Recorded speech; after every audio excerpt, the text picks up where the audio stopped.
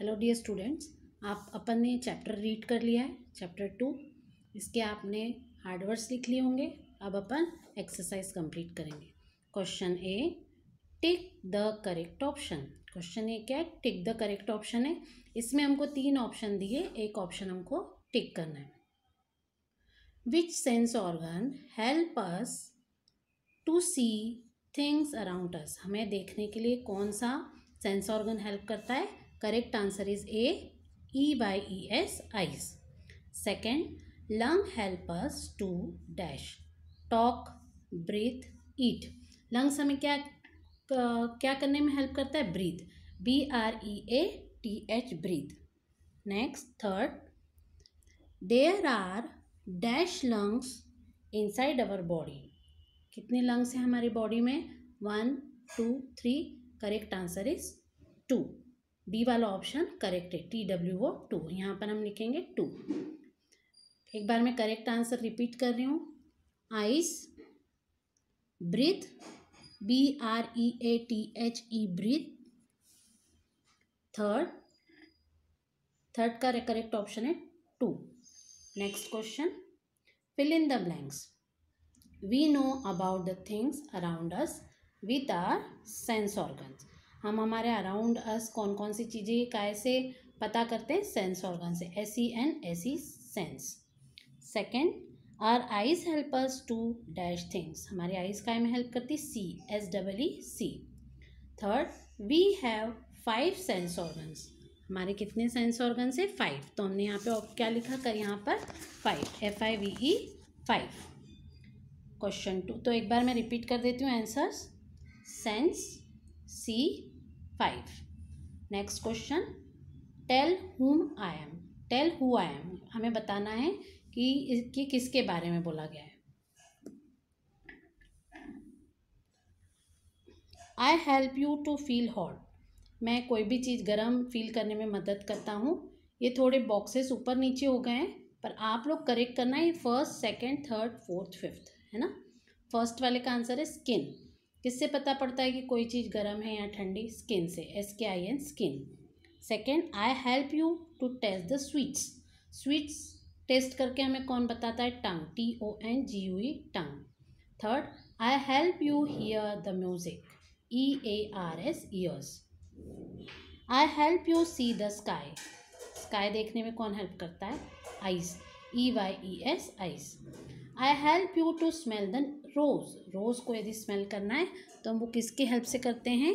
N O S E nose एक बार मैं आंसर रिपीट कर रही हूँ। S K I N skin T O N G U E tongue E A R S ears E Y E S eyes N O S E nose now come on the page number fifteen fifteen पे first हमारा question है question D match the following ice cream fire television या फिर computer की screen भी बोल सकते हैं सीन रोज अब इन सबको समझने में हमारा कौन सा ऑर्गन हेल्प करता है? Ice cream tongue fire skin screen इसकी आवाज़ सुन के हम पता कर सकते हैं, है ना? इसलिए ईयर्स सीन देख के हम पता कर सकते हैं आइस रोज़ हम स्मेल लेके बता सकते हैं कि ये रोज़ फ्लावर है ओके नेक्स्ट क्वेश्चन एक बार मैं फिर से रिपीट कर दूँ. आइसक्रीम को अपन ने मैच किया है टंग फायर स्किन कोई भी म्यूज़िक होगा लैपटॉप होगा या स्क्रीन बताइए इन्होंने तो ये हम ईयर्स सीन है, ये हम देखकर पता करेंगे. कोई भी फ्लावर यहाँ रोज़ फ्लावर है, ये कैसे पता पड़ेगा? हमारे नोज़ से okay next question answer the following questions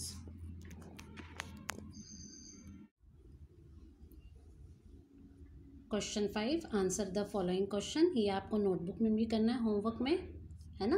Question one what is a body question one what is a body our body is a machine our body is a machine M A C H I N E machine our body is a machine Question 1 What is a body? Our body is a machine. Question 2 What are internal organs? Question 2. What are internal organs? Some of our body parts are not visible to us. Some of our body parts are not visible to us. These are internal organs. These are internal organs. Some of our body parts are not visible to us.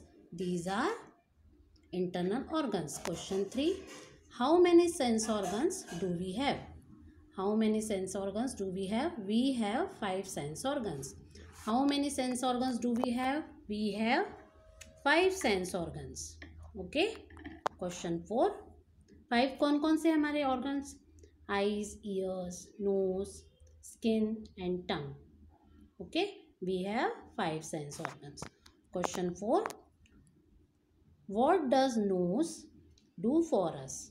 Our nose help us to smell. S m s m e double l. S m e double l smell. Our nose helps us to smell. Question 5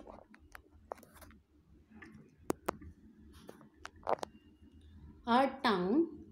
Question 5 what does tongue do for us हमारी tongue हमारे लिए क्या करती है? What does tongue do for us our tongue helps us to taste T A S T E taste our tongue help us to taste our tongue helps us to taste next page page number sixteen skill drill page number sixteen skill drill first write the use of इसका use लिखना है अपने को.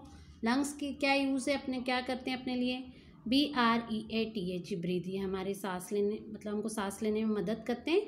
B R T H B R E A T H E breathe second eyes E Y E S eyes eyes क्या है काय में help करती see S double E C third stomach digest D I G E S T S digest D I G E S T S question B question B correct collect आपको collect करना है the pictures of any three sense organs हमारे कितने sense organs होते हैं? Five sense organs होते हैं. Eyes ear nose tongue and skin इनमें से कोई भी थ्री आपको कलेक्ट करना है. उसको कट करना है है ना? कोई भी कहीं पे पिक्चर बना हो, कहीं ड्रॉ किया होगा है ना, उसको आपको काट के पेस्ट करना है।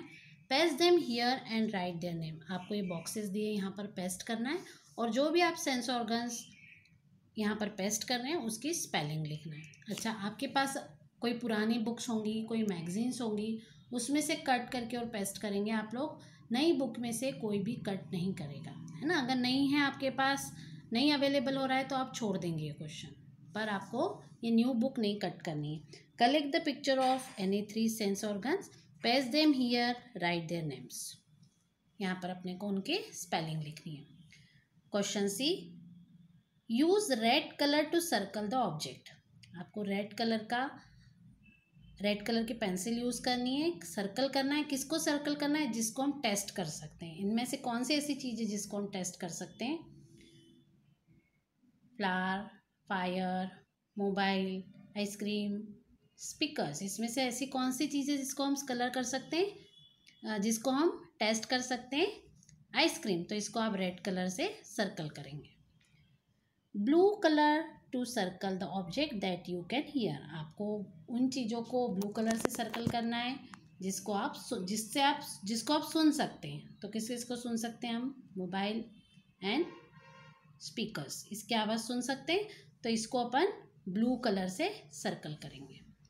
Yellow colour for the object that you can smell और येलो कलर से उस ऑब्जेक्ट को आपको कलर करना है जिसको हम स्मेल कर सकते हैं। किसको स्मेल कर सकते हैं?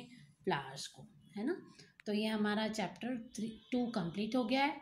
आर बॉडी पार्ट्स अब आपको, अब आपने, आपको होमवर्क बता देते हैं क्या करना है। क्वेश्चन ई आपको नोटबुक में लिखना है।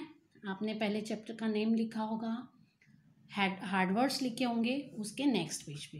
क्वेश्चन आंसर कैसे लिखेंगे? पहले क्वेश्चन ई हेडिंग डालेंगे। Question one answer one complete हो जाए वन लाइन छोड़ना है हमें, और फिर ऐसे पूरे ये फाइव कंप्लीट करना है। Okay have a nice day